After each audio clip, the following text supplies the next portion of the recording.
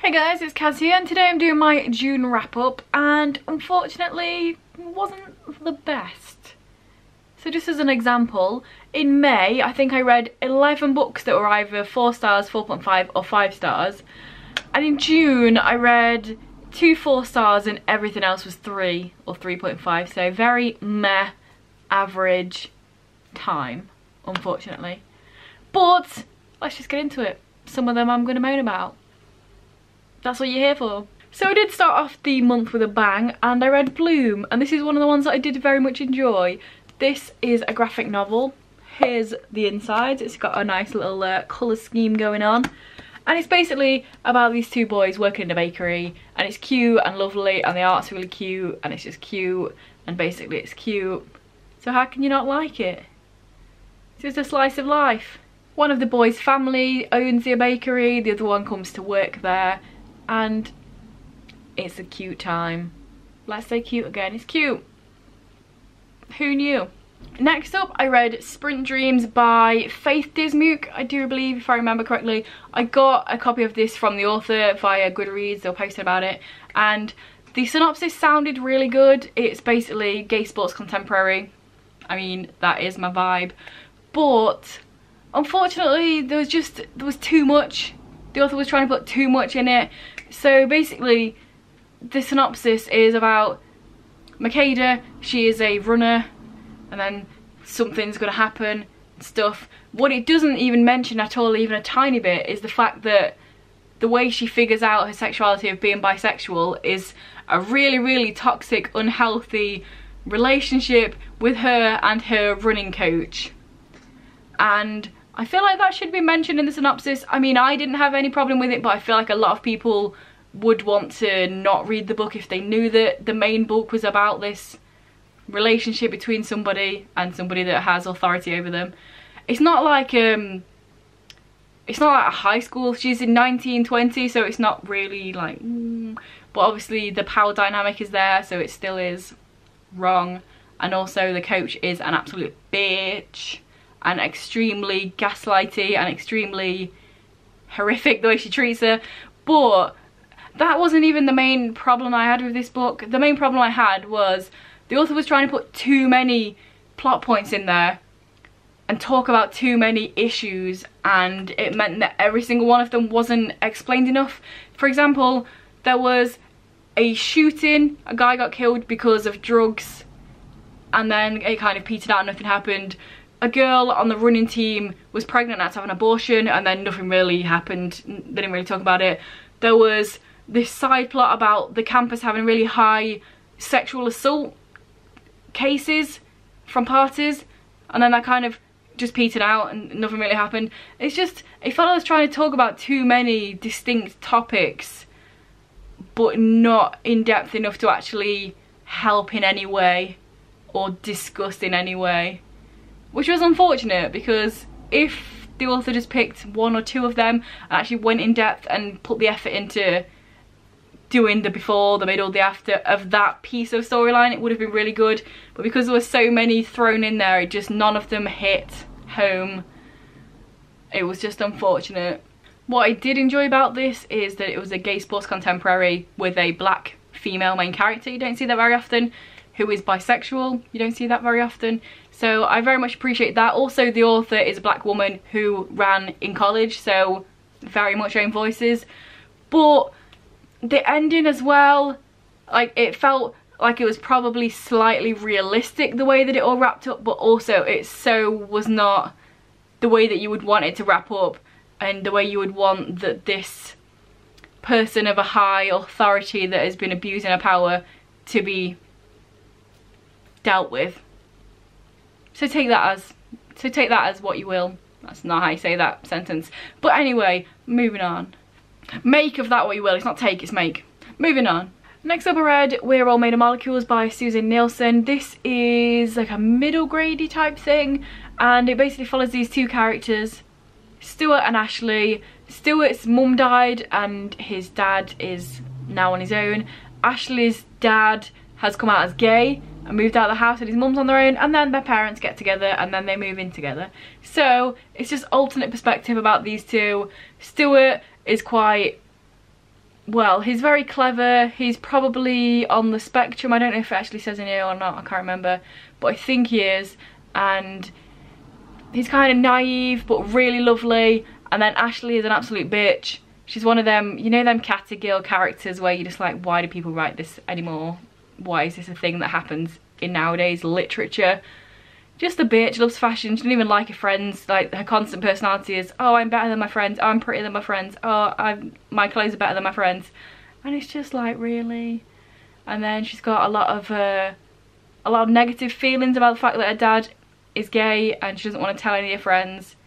Which would have been nice if it was just it didn't feel like a feeling like she felt strange about it she was just like oh that will hurt my image so it's kind of like mm, you're a bitch even though you're about 12 but it was a decent enough story it was quite easy to read obviously because it i think it's middle grade or maybe very very low ya i can't remember how old they are but it was it was a decent enough story average like most things i read you know, we out here reading average books, unfortunately. But I really love Stewart as a character. I think he was really lovely. Next up, I read Sugar Rush by Julie Burchill. This one I found in a charity shop. I looked at it and I thought, hang about, there's a TV show called Sugar Rush. And then I looked at it and then yes, this is the book based on that show. The show, oh my god, I feel old. It came out like about a thousand years ago. No, probably like 15 years ago, right? I think it did. I think it came out in 2005, which, as if, and also the TV show, from what I remember, because it's been a long ass time since I watched it, but the TV show I do believe was a lot better than the book. It's basically about Kim and her infatuation with her new friend Sugar. She's in love with her. Sugar's not a good person, neither is Kim. Nobody in this book is a good person. And it's just basically about her crushing on her friend as you can tell by the fact that the TV show came out 15 years ago, this book has some language in it that we're not fans of and it's just a little bit like, hmm. You know, I'm a big fan of dislikable characters, unlikable characters. I'm a big fan of unlikable characters. Which way, dislikable, unlikable? It's the same. If they have something about them. But in this, it's just like, I don't like anybody. I'm reading this book. I don't know why she's infatuated with sugar because there's nothing about sugar that's good or that would make you fancy her other than the fact that she's pretty. And yeah, I mean, it was a short read. The TV show does sway a little bit and different and there's certain characters in here that are different in the TV show, probably for the better. But, I mean, one plus of this, it did make me feel like I want to rewatch it, and it is on 4OD, so who knows? It's not like I haven't got a thousand other things that I've not seen to watch yet. Why not rewatch something from ages ago? Sugar Rush. Next up, I read Dress Codes for Small Towns by Courtney Stevens. This is my other four-star read of the month. This is... When going into this, I had no idea what it was about other than, like, friends. But there's this group of friends, the Hexagon. You can guess how many friends there are in that. And it's just about friendship and sexuality and gender expression. And also they're from this small rural town in America. So they have these traditions. One of them is the dolly. One of them is a corn dolly. Basically a dolly made out of the rind of a piece of corn. And I didn't know anything about that going in, so that was a kind of a, a nice little twist I didn't know about all this corn dolly thing and I'm trying to save the corn dolly thing so it still goes on each year and I very much enjoyed it.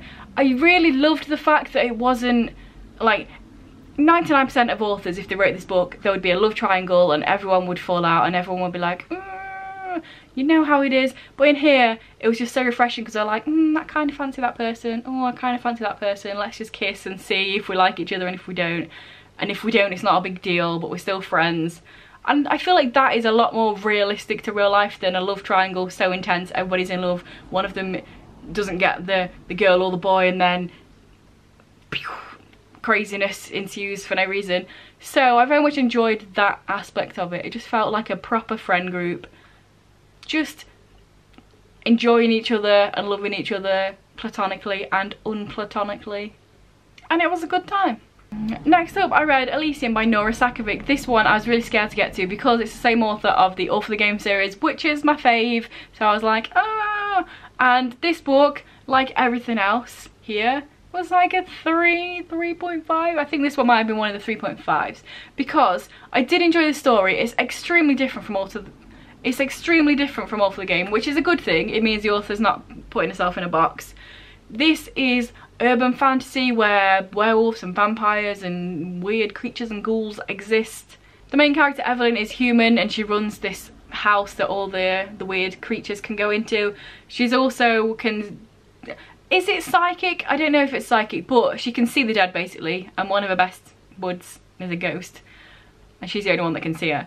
But basically, loads of stuff ensues and that's the main problem I had with this book it's less than 200 pages and so much stuff happens. Loads of stuff ensues and then she's with this guy character and they're trying to figure out stuff and they're trying to...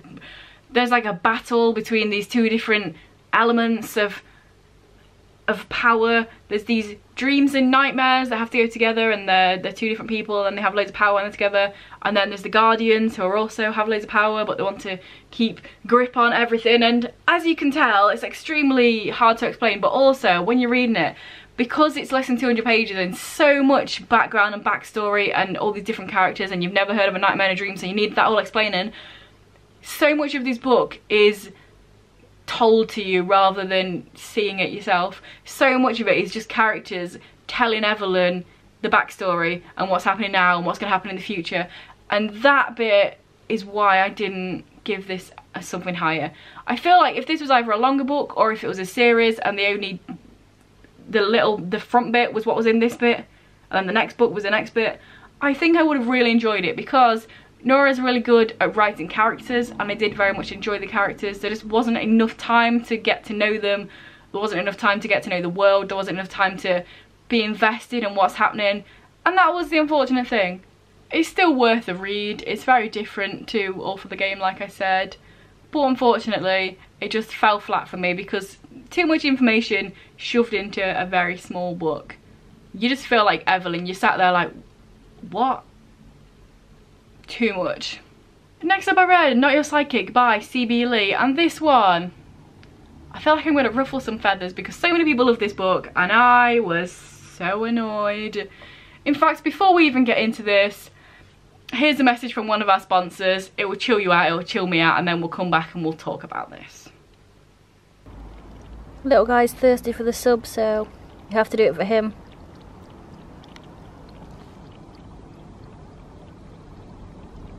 So not your sidekick, eh? I really, really, really wanted to love this book because I've heard so many good things and it's such a cool premise.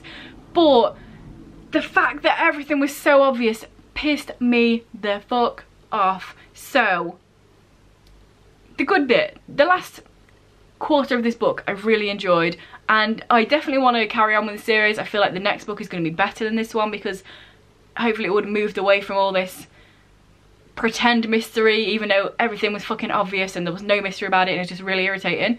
So I do definitely want to carry on with the series. What was what was wrong with this? There potentially might be spoilers in here but I'm going to try and keep it very very very very, very vague. So our main character Jess. So our main character Jess, she is the daughter of these two superheroes and then loads of stuff happened in different ways and every single one was extremely obvious and she was the most naive, just gullible, stupid person ever in the first half of this book. Straight away, her and her friends watch this video of the news. There's a new superhero about a thousand percent. I knew who it was instantly. But that one I wasn't too mad about because it kind of, they never talked about it again and then later on you found out who it was. So I didn't, I didn't care that Jess didn't realise who it was because I'm like, yeah, I realised, but we'll let her have it. What I will not let her have is the fact that she went to work in this place with two people and these two people were never in the same room and it didn't cross her mind that they were the same person. And to the point, there was literally a part in this book where, so one of the people has a robot called Jax with an S and they even explained it like, oh yeah, Jax with an S. I, I put an S on the end of everything. The other person that she works with, who is dressed in a mecha suit, that's why she doesn't know who it is, there's this part in the story where they also have a robot and it's called Jills. And literally, in Jessie's mind, she's like, oh, Jills, that's really weird, it's got an S at the end. It reminds me almost like, and then the story says, but she doesn't finish her thought because other stuff's happened. And I'm like, that is not how thoughts work. You don't think in sentences. All of that information would have been like, boom, instantly. That's not how, that's not how brains work. And then, slightly later when she finds out they're the same person, she has the goal to be shocked about it, even though she was literally this close to thinking, hmm, that robot's exactly the same as that other person's robot. How can she be shocked when she already knew? Just because her thought was cut off because other things were happening. Oh my god, it annoyed me so much. It was just like so obvious. And I don't know if us as a as the viewer were meant to be like, ha, Jess, you fucking idiot. Or if we were meant to be like, oh, I didn't realise either, even though it's really obvious. I don't know what the author was trying to do. Either way, it pissed me off. And then, because of that, because I was already annoyed, little things that probably wouldn't have annoyed me if I was reading this book and not already annoyed, annoyed me. There's one point where she's on a two hour shift at work, two whole hours, and she's done loads of filing, which would have took ages because filing, you get into it, you, you where's the time gone? You've you've been filing for ages. Then she asks for a break, bearing in mind we're on a two hour shift, who has a break on a two hour shift, goes to see this other person, they're never there because she's talked to the other one and it takes them a while to get there because it's so obvious they're the same person. Had a little chat with them, comes back, and then the, the robotic person, she doesn't see for another half an hour. I'm like, how does time work in this place? I know you've got superpowers, but is time different as well? Because two hours. And that would normally not bug me, probably, maybe a little bit. But because I was already annoyed reading this. And like halfway through I was like, okay, we get it. They're the same person. And also this person is obviously the daughter of these other supervillains. If that's... In, I've already told you at the beginning there's going to be spoilers, so get the fuck over it. She's so obviously the daughter of these supervillains, and that is made out to be a shock as well. But we'll just move past that. It's just like... Halfway through, I was like, hmm, right, okay, we get it. Please, please don't make this the whole story. And then I still had to wait like another loads of the book before she found out who she was. And then she was all like, oh no way, I didn't expect that even though it was really obvious. So, yeah, pissed me off. All of those sort of pretend mysteries really annoyed me. But once we got to the end of the book, I was really enjoying it. I really liked the whole uh, the government being corrupt thing. We all love a corrupt government. That's why we all live in this day and age. We love it so much, we put them in power, all of us. Haha, fun times. But yeah, I enjoyed it when we got to that because I felt like the mysteries were more mysterious. Like, hmm, why are they doing that? Why is this happening? Why is that happening? What's this secret place? Hmm. So I do feel like the next book is going to be better because everything's out in the open. Everyone knows who everyone is, so there's not going to be any pretend mystery where everything's fucking obvious. It's probably going to be a really good time the second book, so definitely want to carry on the series.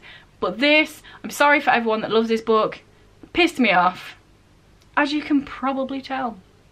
Next up, I read Bingo Love. This is a very small comic about two women who fall in love in the 50s, 60s, in the past, and then they go away from each other and then meet again when they're older in their 50s or 60s rather than in the 50s or 60s. So, it's a, it's a, it's a nice read. It's, you know, it does what it says on the tin, but first of all, it's too short, even for a normal comic, this is extremely short.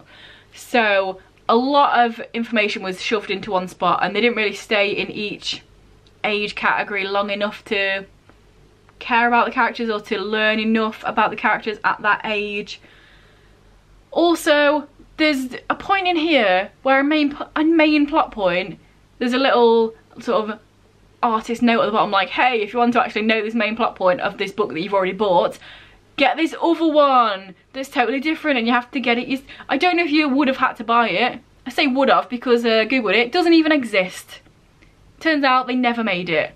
Why would you put something in your comic, oh, read this other one, bingo, love that other bit. If you don't know that it's going to exist yet, you don't know if you've got enough money or enough time or enough whatever to actually create that, why would you put it in here to say that it exists when it doesn't even? And then it never did. So that annoyed me because I'm like, if you're going to buy something, you want the whole story in here. You don't want to have to get extra content. Extra content is meant to be a bonus extra bit of content. For example, there's another little artist note saying, oh, if you want to know what happened on this holiday, there's a separate thing for that. That's fine. It's not a main part of the story. It's a little extra. You're like, oh, they went on holiday then. If I want to find out what happened there, I can get this little novella, this little extra. But when it's literally a main part of the story and they're just trying to keep it stum and make you get something else from it, no, that's not it. That is not it. Don't do that. Put the story in the story. Extras are meant to be extra, not necessity, and then not even exist. But from beside from all that, this reads too young, too woke. So these characters are meant to be in their 60s and 70s and you got, they just, they talk like millennials and Gen Zs and that is very unfortunate because I feel like if it wasn't such an inauthentic voice I would have enjoyed it more but it was so inauthentic, it so was not how an older lady would have talked it's just, it takes you out of the story. Like at one point this woman says, take several seats and sit down. Is that something that 60 year old would say? 60s, 70s, can't remember how old. Is that something an older lady would say? Potentially, very few of them that I've talked to their grandkids would say take several seats. But I feel like it's just not something that's authentic to a woman in her 60s or 70s or whatever. That being said, the last page did literally make me cry, so silver linings. And last but definitely not least is The House of Impossible Beauties by Joseph Cassara. This took me quite a while to read. It took me over a week to read. It was, I was slumpy reading. I was also not reading great things, very average. And then it made me take ages to read as well. It was everything piled up on top of each other that made this a very meh month. But we got there, we finished it. And again, it was alright. It was an average read. This, what I expected from this was more of the ballroom scene, more of the drag scene, more of the actual houses and all that business. But it was very much just like a, a character study of these several different characters. You see them at several stages of time in the early 80s, in the in the mid 80s, in the early 90s. And it's just kind of them just doing stuff just average stuff, sitting at the house, doing sexual things for money, wanting to buy something but they don't have much money. It's just very much just their life going through. I, I think there was only one actual competition, drag competition in here quite towards the end that one of them was in. So that shows you how much it wasn't about ballroom and drag scene, even though it was, because obviously the characters were into drag. Also, several of them were trans women some of them just like doing drag because they like doing drag and they were just gay men so that was a nice little differentiation. But talking about differentiation it took quite a while at the beginning to, for me to remember who each character was. Because it would say their name at the top and then it would they would do whatever their life and then it would say somebody else. But all of them had very similar voices and very similar backgrounds and very similar family life as younglings. And it was just they all kind of blended together and everyone I was like I had to flick back every time a new person was like which one was that again? What did they do? So it took a while for me to place all of them individually and yeah there's not really an ending it's just kind of talks about their life and then stuff happens and then obviously I mean you can guess it's the 80s AIDS happens so there's a lot of um a lot of upset and a lot of characters getting AIDS and would you shut up? I'm trying to talk about AIDS here and you're meowing. Yeah? If you can hear meowing, it's this. So yeah, it was just quite a slog to get through because I was already in a bit of a slump and nothing was really happening. It was just talking about life, which isn't necessarily a bad thing. I do really like character-driven stories. I would prefer a character-driven rather than a plot-driven. But with this, it was just very samey and nothing really happened apart from getting diseases some of the characters There we go. Also, towards the end, there's something happens and then it flicks forward several years and some of the characters have left one of the other ones because they all live in the same house and then it never tells you why. They just left in the middle of the night and didn't tell this person and then it's never explained why. And I feel like that's a big plot point because the whole of the rest of the book they were all in this house together and I'm like, but at least tell us why, please. But it didn't, so you just have to guess. So yeah, it was alright. Like most of the other things I read. So there we go, that's what I read in June. A lot of average reads, unfortunately. Hopefully July will be better. Let me know down below what you read, if you've read any of these, what were your thoughts on it. If you want to read them, I normally say, but I didn't really um, give many of them glowing reviews. But hey, let me know down below. If this is your first video by me and you enjoy it, then please check out some of the others. And if you continue to enjoy, then please subscribe, that'd be awesome. Anyway guys, I'll see you in a few days with another video. Bye.